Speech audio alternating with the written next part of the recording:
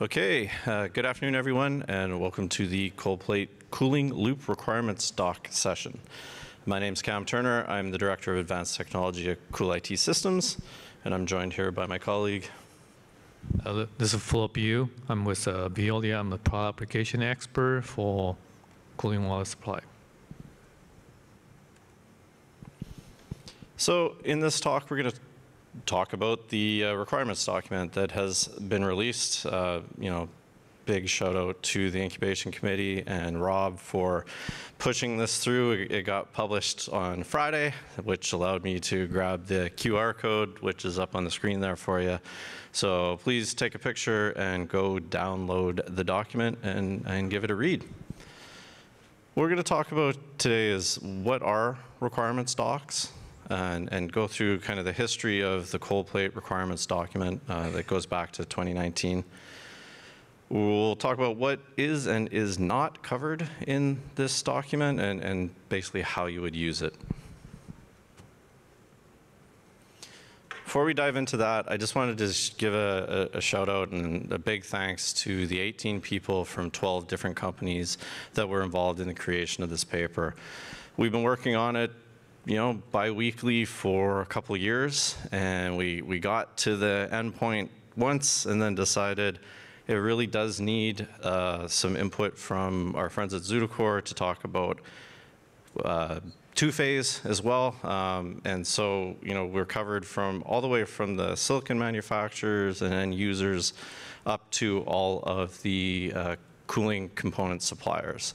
And I think you know, again, thanks to everyone on the team. Uh, the dedication and the effort has really made for a document that is very prescriptive from the, from the CDU all the way down to the cold plate.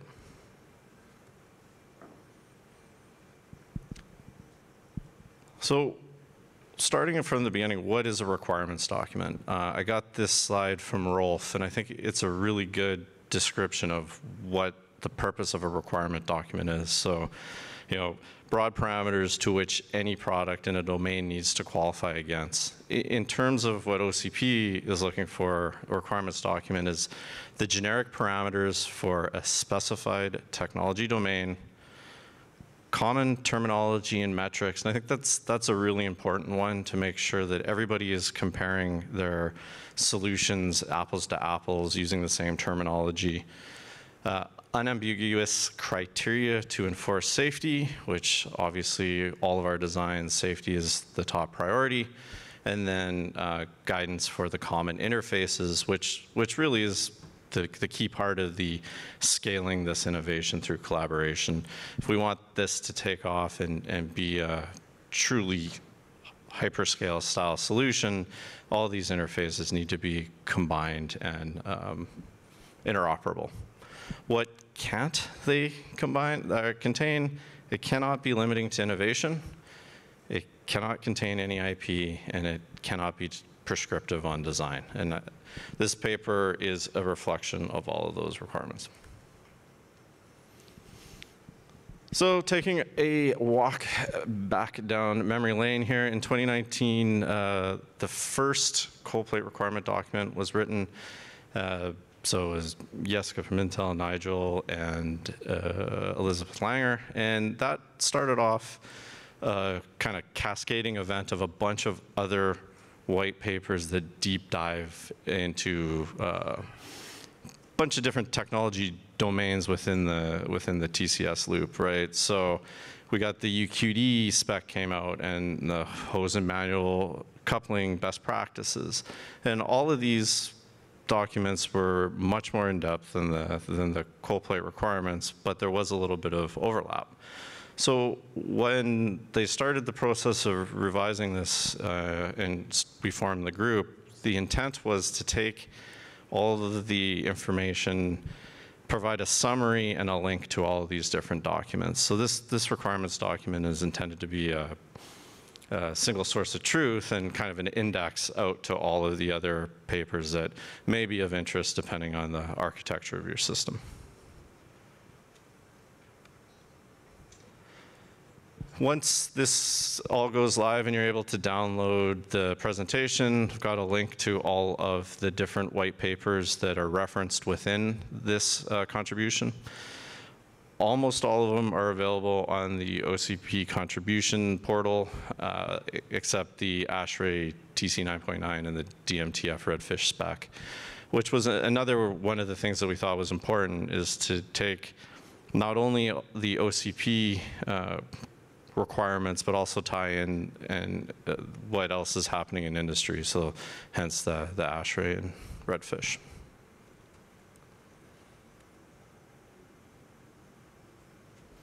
So what technologies are covered? Single phase cold plate and two phase pool boiling cold plates from the CDU down to the cold plate.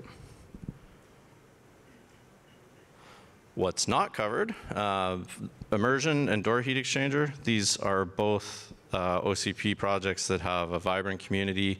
I put up the QR codes to their wikis, and you're going to be hearing a lot more about the work that's happening in those work streams uh, over the next day and a half. The passive TCS or loop heat pipe uh, requirement stock that's underway, uh, Jordan mentioned it earlier, so that's Ben and Vadim are working through that. And if you want to contribute to that, I'm sure they'd be very happy to have you. Uh, Chassis immersion is not covered, uh, nor is two-phase flow boiling, as uh, there was no member companies that were uh, stepped up to contribute to that one.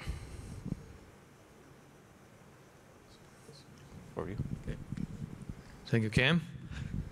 So Jordan talked about liquid cooling is very important. So cold plate cooling actually need a lot of liquid. So let's talk about liquid cooling. For cold plate to be cool, first you need a facility water system. Facility water system could be water-based, could be PG25 based, and it has a several guideline, could be a W1 to W4. So depending on your facility, can have, have different temperature limit. Then from that, you can connect it to the CDU. Usually there's a plate and plate heat exchanger connect between the FWS and the TCS. So to just block any contamination from the outside environment going to the, the critical CDU system. So CDU then has long cooling environment. We had discussed that last year during the presentation. Could be a water-based coolant, could be a PG25-based coolant, then that connected to the, the ITE. Then that's complete the whole cooling loop. So there's a lot of water-based cooling involved.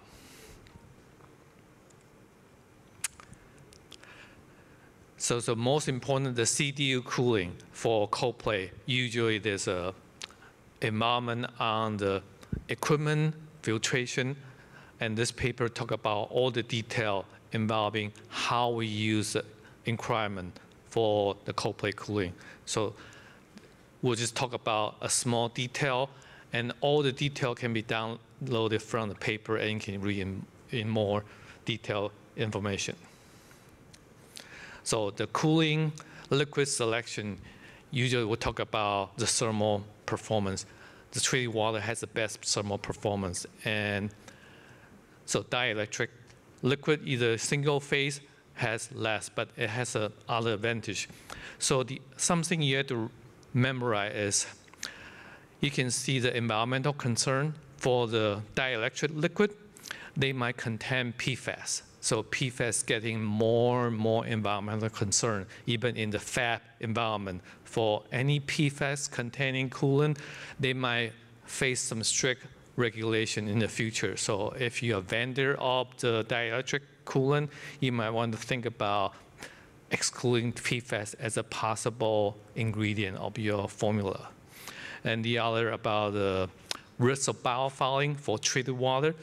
So that's the highest risk because uh, the water actually contain a lot of issue, even as a best cooling media, but water actually devour everything. So any organic material, corrosion product can go into water phase. So usually use a water-based coolant, you have to deal with a lot of PM. For PG25, much less dielectric liquid, you don't even have to do any PM. They'll just uh, run by itself. So all the detail is discussed in the paper. The next is a rack manifold. So Jordan talked about that in the previous conversation. So this just to give you the criteria. We try to define the liquid volume, the dimension, and the way manifold design. And this picture show is a, is a quick disconnect. It could be a, a blind mate or could be a latch one. So it's a variation. It all depends on how you design it. There's a, a lot of options you can choose from. And also the, the air vent for the manifold. Next one is CDU. So CDU, usually we define the capacity by, by kilowatt. Then all the other liquid volume, it varies from the different vendor. And the weight, lift, the width, depth is all defined by the, the vendor. And you have the, some other criteria like the, the facility water system, uh, TCS water system, all defined in the different table in our white paper. So next, we'll talk about hardware management. I'm going to turn, over to Cam. So tying all of this together, of course, is the hardware management. There's been a lot of work that's been done within OCP uh, developing the redfish schemas. And so Mick Jones, who's the lead of that group, has has contributed into this document as well. And it, it, it discusses the overall schemas that you would need for a cooling unit or a CDU, the cooling loop, uh, leak detectors, and, and there's a there's a whole bunch of other information uh, available that needs to be reported depending on sort of what level of uh, redundancy, I guess, what would be the right term uh, you want in your system. So the one thing I would note that the the OCP schema for redfish is is the schema for redfish. Uh, it's they're one and the same, so this is pretty much an industry standard now. Uh, tying into the safety requirements, so the group settled on IEC 62368 and 60335 as your baseline requirements. Uh, again, the, the thing to note here is there's regional requirements. Different customers are going to have different requirements, but we need to make sure that these systems operate safely under all conditions.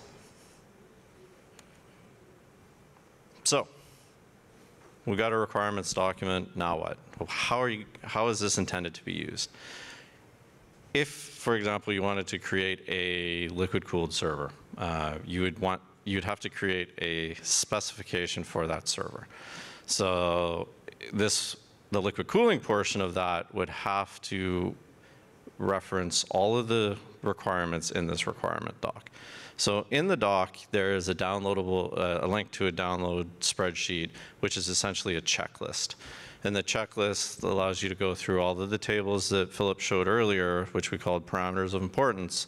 And if you're using single phase cold plate, you have to check off and provide, you know, what's your differential pressure at this flow rate, all of, all of the different metrology um, uh, and specifications there.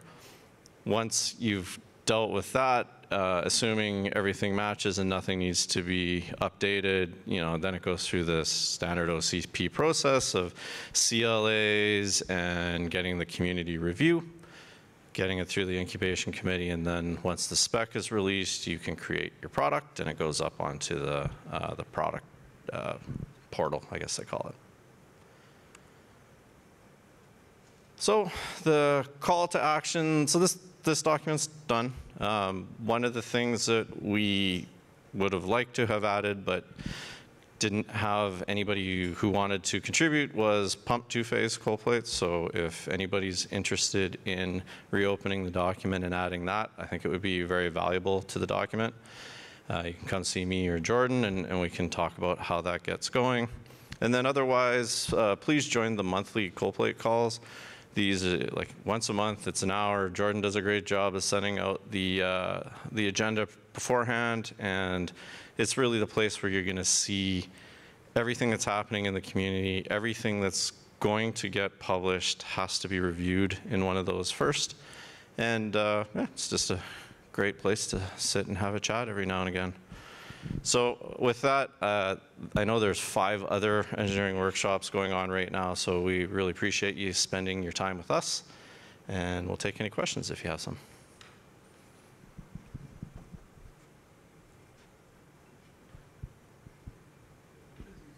Can you step to the mic, please? Just curious what redfish is. It, uh, It's a protocol. Uh, You can come talk to Mick to get the, the full details of it, but it's a hardware management protocol based on, on uh, JSON. Is there any uh, modifications needed for the standard OR V3 rack to fit in manifolds and fit in your secondary loop, like your technical water loop for liquid cooling? Yeah, so there is an entire work stream going on with that, and Glenn will be presenting that, I think, right next, actually. Yeah, he's, he's next, so uh, that'll get answered there. Hi, um, I'm wondering, does the specification speak to any of the fluids besides water, like the dielectrics or the engineered fluids um, that are being used for single-phase and two-phase cold plate?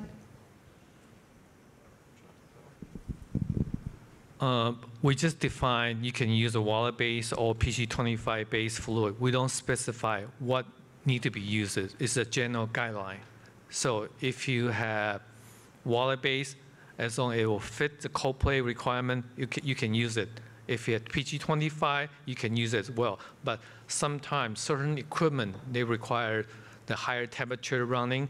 So PG25 sometimes will limit it on the temperature range.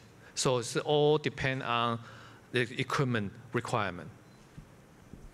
Okay, but you mentioned something in your talk about uh, PFAS and the regulations and the fluids. That's, that's usually in the immersion fluid. So for the single phase or two phase immersion fluid, if you have PFAS, you might face some regulation in the future if they start regulate the PFAS.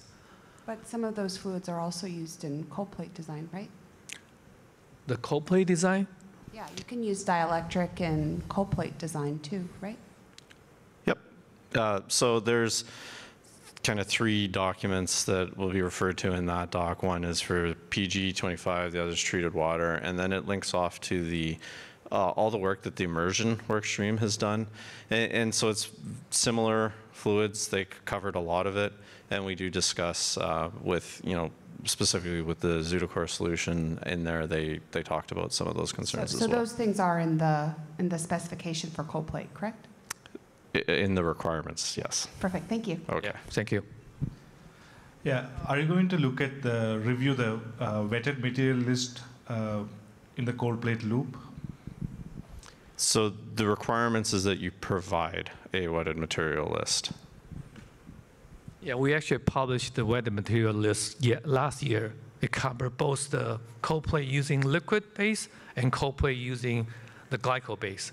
So you can look at the document for detail on all the material. Okay, thanks. I think that's all the time we have for questions. Unfortunately, we need to transition to the next speaker, but please find Cam and Philip. I can take these.